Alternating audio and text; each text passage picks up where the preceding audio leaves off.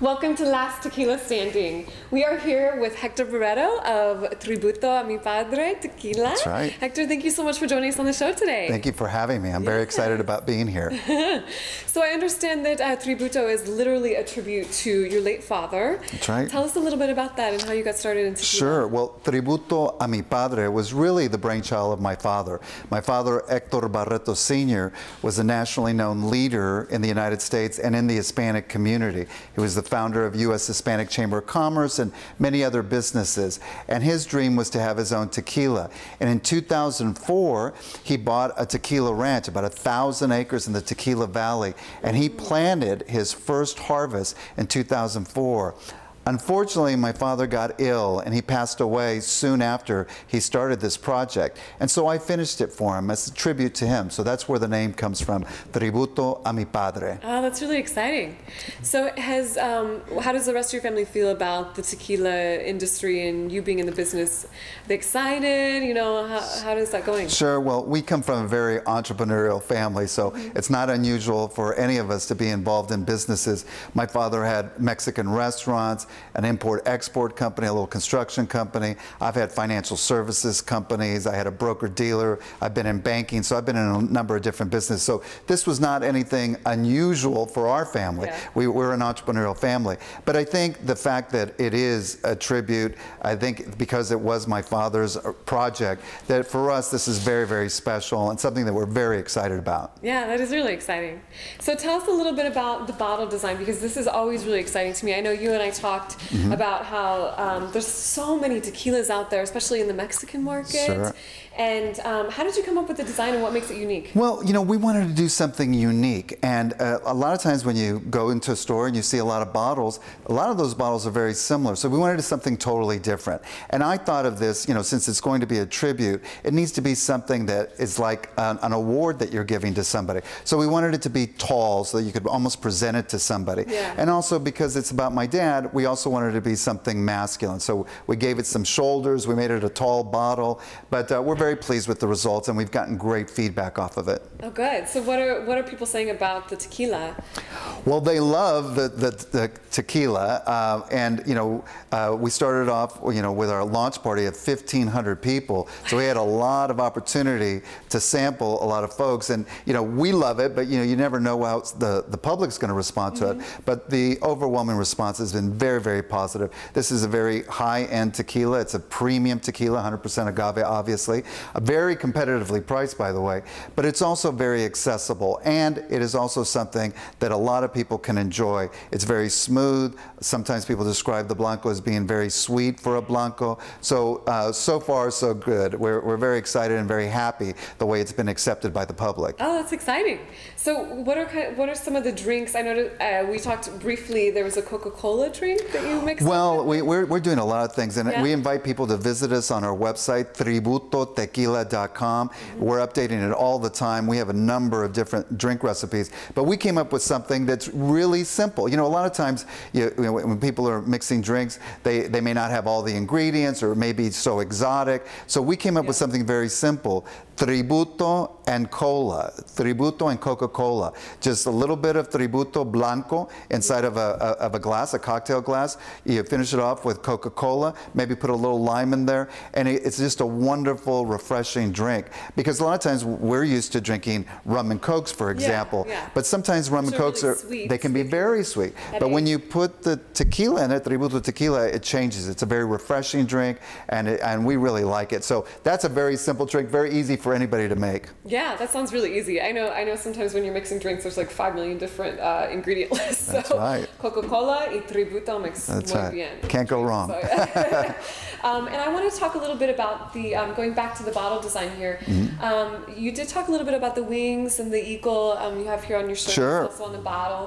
Um, how was that inspired? And well, you know, tributo a mi padre is obviously something that is very authentic. It's something that reminds people of our heritage. It's something that reminds people of the relationship that we have with our fathers, you know, tributo mi padre. And, and it's also, uh, one of our taglines is, por una vida bien vivida, which means for a life well lived. So anybody can celebrate with tributo for any kind of a special occasion. Obviously, the eagle is a very important symbol, not only in the United States, but also Mexico. Something, again, that reminds us of our heritage and our culture. And so uh, that's where, where that idea came from. We wanted it to be something authentic. This is not something that's, you know, uh, uh, you know, a glitchy or anything, anything of that nature. This is very uh, authentic, very special, something that really grounds us to the things that are really important to our community and to our businesses. Oh, of course, course. And you do have um, you do have three different lines of the That's right. The Reposado, the Blanco, and the Añejo. So can you talk really quickly about the flavor profile of each and what Mm-hmm. Are people liking about the tequilas and why does it make it so special? And- Sure. Well, you know what they always say is if the Blanco comes out good, everything else is probably going to be good. Our Blanco's already won awards. You know, we haven't been in the market all that long, but we've already won some of the highest awards for our Blanco. And also the, the, uh, the tasting that we've done, especially with women, they've really enjoy the Blanco. A lot of times uh, women will say, well, I, I don't really like the taste of tequila. Maybe I'll drink it in a margarita. mix it. I'll mix it, or I'll drink one that's aged and doesn't really taste like tequila. Yeah. But our Blanco has been really well received. So we're very happy with the Blanco. The Reposado is uh, aged seven months. Now, you know that a lot of Reposados are only three months, so we go twice as long. The Reposado is very balanced, so it's kind of the best of the Blanco and the Añejo, and it's right there in the middle. And then, of course, the Añejo is very, very special for us. A lot of Añejos are only nine months in a barrel. Some are a little bit over a year. Our uh, uh, Añejo is 20 months in white oak barrels. These are, you know, Kentucky white oak barrels, just like a lot of other tequilas. But the end product has been really sensational. Now, what makes that different for viewers at home? Um, not aging it as long versus like aging in a longer process. What's the difference in the difference in the taste? Well, it, it, and, and it, a lot of it has to do with your own uh, preference and your own palate. Obviously, the longer that you leave it in, in the barrels, the wood changes the, the, the taste profile. And so you'll get all kinds of different tastes. I mean, some people describe, you know, notes of vanilla. Some people uh, taste herbs. Some people feel that it has kind of, you know, some vegetable qualities to it. Uh, all of these tequilas are very sweet. You know, we uh, grow our tequila in the Tequila Valley. That's where our ranch is at, right in the historic Tequila Valley. In in Jalisco? Arenal, yeah, Arenal, Jalisco, which is right outside of Guadalajara. We have a thousand acres. And what's different about our ranch is that we're high up in the mountains. So, you know, it just really changes, you know, what, what uh, the size of the piña, for example. A lot of piñas that come out of that region are 25, 30 kilos. Our piñas are 40 to 50 kilos. So a lot more sugar in there, which also helps the, uh, the tequila smooth out and make it sweeter. And for those of you for those of you at home that don't know, what is a piña?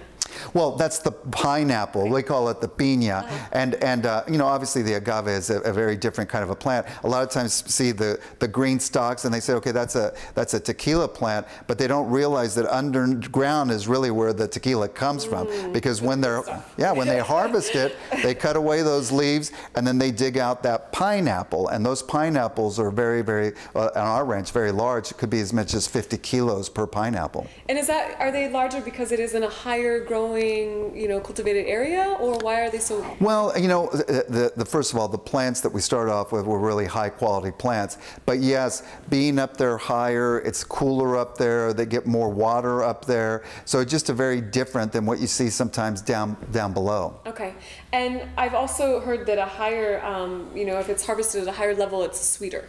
It can be, and ours definitely are. As I said, well, you know, the the uh, the content of the sugars in our in our pineapples was very high, and we were very pleased with that because that obviously really helped, uh, you know, turn Tributo into what it became. Yeah, yeah, it's exciting. So where can we find you at here locally? For the, you know, like if I wanted to go to a store, what sure. store can we find stores yeah. can we find you at? We're in a, a lot of different stores and a lot of different, both on premise and off premise, and we're adding more all the time. So I invite people to visit visit us and keep track of us on tributotequila.com.